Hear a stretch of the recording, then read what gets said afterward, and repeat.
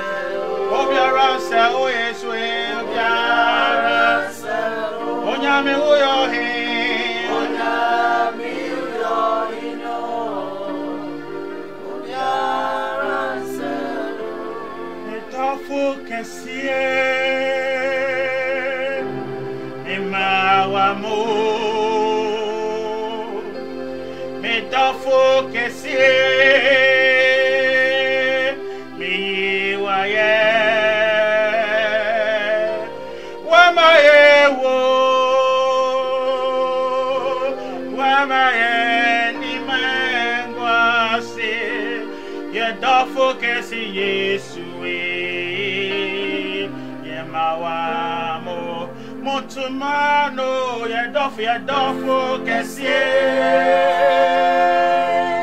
yemawa mo yedofu kesie yedofu kesie.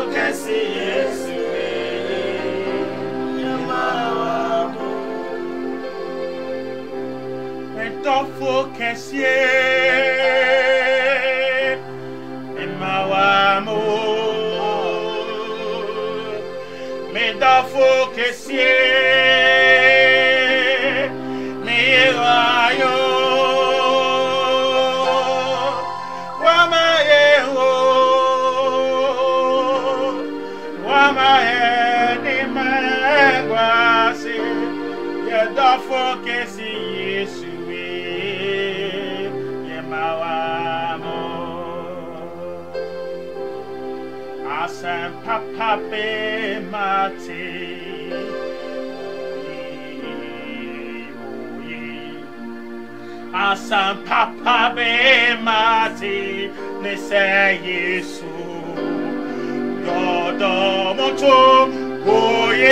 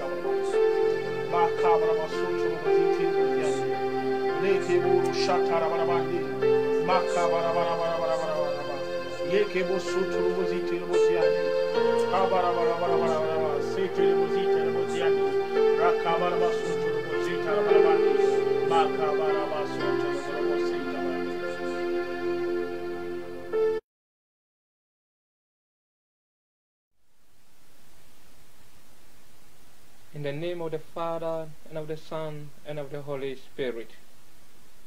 O Queen of Heaven, rejoice, Alleluia. For he whom you did marry to bear, Alleluia, has risen as he said, Alleluia.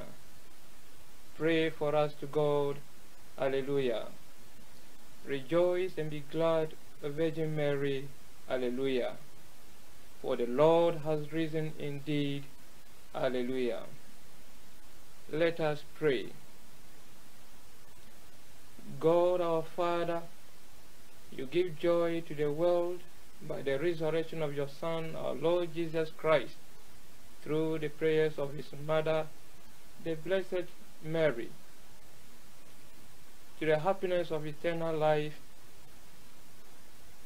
we ask this through our Lord Jesus Christ, your Son, who lives and reigns with you and the Holy Spirit, one God, forever and ever. Amen. Most Sacred Heart of Jesus, have mercy on us. Immaculate Heart of Mary, pray for us. Saint Joseph, pray for us. Saint Matthias, pray for us. Saint Teresa, pray for us. All you saints and angels of God, pray for us. My dear people of God, I welcome you once again to the living streams of water. Today, I will be sharing the Word of God with you, taken from the feast of St. Matthias of today, and alongside with the criteria that St. Matthias was chosen.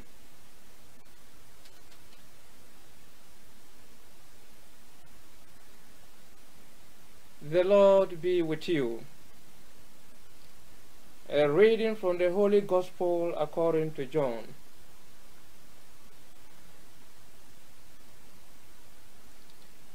At that time, Jesus said to his disciples, As the Father has loved me, so have I loved you. Abide in my love. If you keep my commandments, you will abide in my love, just as I have kept my Father's commandments and abide in his love. These things I have spoken to you, that my joy may be in you, and that your joy may be full. This is my commandment, that you love one another as I have loved you.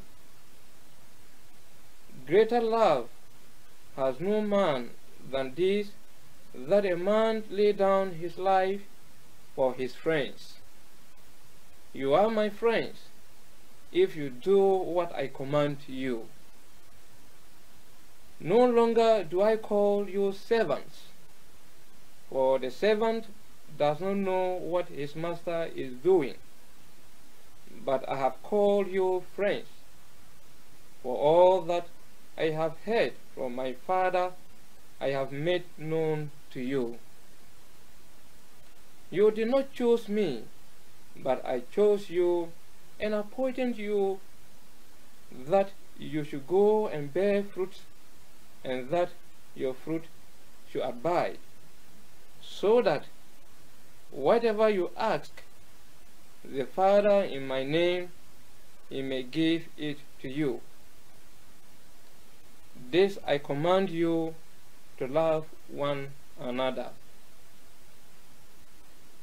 The Gospel of the Lord.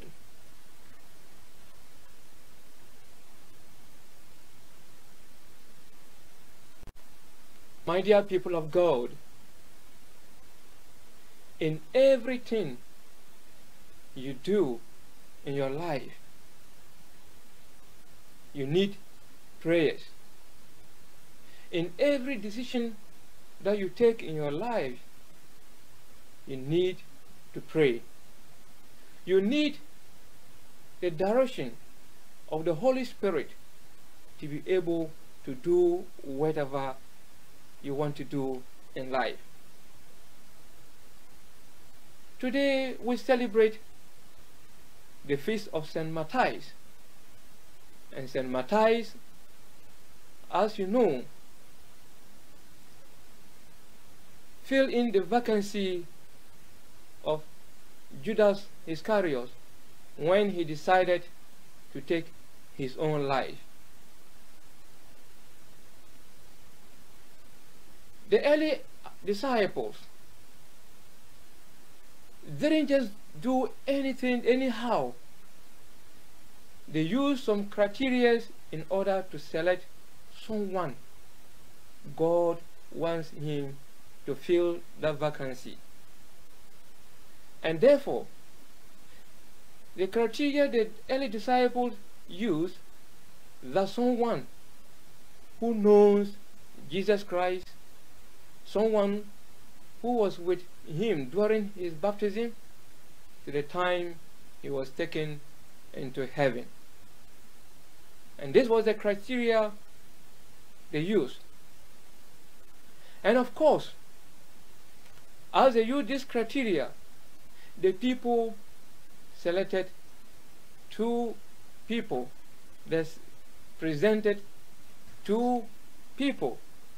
That is Joseph, who is called Barsabas, and Matthias. And as they did that, it didn't just end there. They went ahead to pray.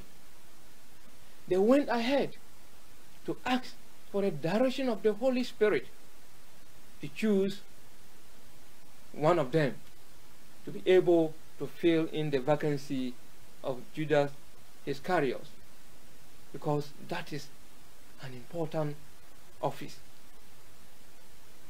And as they pray, the Holy Spirit chose Matthias. And Matthias took over the office of Judas. In fact, the people themselves came together to present the people. And when St. Matthias was chosen, he did very well. He went ahead to spread the gospel and love people. And at the, at the end, he was martyred on the account of the word of God. My dear people of God, the scripture is fulfilled. The, the scripture is fulfilled, said by St. Peter before St. Matthias was chosen. In our daily activities, how many times do we pray when we are taking an important decision in life? How many times do we pray when we want to choose leaders for offices, when we want to choose leaders to take up an important task? How many times do we pray in order to ask for the direction of the Holy Spirit to choose these people to take up the task? How many times do we pray when we want to choose our last one, our last partner? How many times do we pray? My dear brothers and sisters, prayer is very important. Just as the early disciples did not do any manipulation when they wanted to choose St. Matthias. They did it in a line of the Holy Spirit. The whole community, all the disciples presented the two people and the Holy Spirit chose Matthias. And that is what we're supposed to do in any time we want to select leaders, we want to choose leaders in our communities to lead us in the church, to lead us everywhere we found ourselves. We also need to ask direction of what? From the Holy Spirit and also the collaboration of the community members to be able to choose leaders who will lead us, who will direct us till the end. And if you do this, it means you are working according to the will of God. It means this is what God wants us to do. Certain times in our lives, when someone wants to select a leader or appoint someone for a particular office, we do not ask the direction of the Holy Spirit, but we try to choose someone according to our own motives. Certain times, we choose someone whom are not even qualified to take that position, and even neglect those who are qualified to take the position of that office, simply because we want to gain certain things from others who can afford. Certain time when someone gives you something, this is where, or this is the person you think he should be elected to be a leader, not based on the qualification of the person. Certain times, some people are looking for a job. They have the qualification. They have everything. But the one sitting on a job wants something from the person. That means you have to give and take. If you don't give, it means you will not get the appointment. And that is wrong. It means you are looking for bribe. If the person is not having money, if the person cannot bribe you, if the person cannot give, it means you will not what? You will not also help the person. We are there in the office in order to help, to appoint people who are qualified, to ask God for direction so that we'll be able, able to appoint people who are qualified to take some particular office, to take over whatever office you want the person to carry on. Because the work the person is going to do, is the work is not for you. The work is for God. The person is working for God. And that is why in the gospel, Jesus said, You did not choose me, but I chose you. By the virtue of our baptism, we have been chosen. We have been selected. We have been chosen by God to go out and proclaim the word of God, to go out and serve the people and love them, as we heard in the gospel. We are no, no longer what? Servants. We are no longer slaves, but we are what? Friends. Friends know what the master is doing. So therefore, God call us friends. Jesus calls us friends because he knows we know everything, we know what he is doing. And therefore, there is a task that Christ has given to us that as we have baptized, that we have to carry on that task. As St. Matthias was chosen, he went out and proclaimed the word of God. He went out and did what is expected of him. And he died on account of the word of God. That is why we are also up to do. We cannot leave the word of God, spreading of the word of God to only priests and religious. Everyone who is baptized has given that task to do to promulgate the word of God.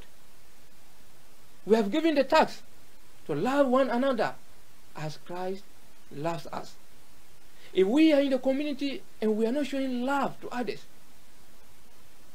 how then can Christ also loves us? We have to show love to others. We have to go out to help others. We have to go out and help those who are really in need. And if we are able to do this, it means we'll be what? We'll be the, we'll attached to the vine. We'll be attached to Jesus, Jesus Christ. And Jesus Christ will love us and the Holy Spirit will guide us, guide us wherever we go. And there, whatever you ask from the Father, the Father will give you. Whatever blessing you ask, the Father will give you. Because the Father is giving you simply because you use that gift in order to help others, to bring others closer to Him. And therefore, my dear brothers and sisters in Christ, let us emulate the example of St. Matthias, the criteria that St. Matthias was chosen. Let emulate that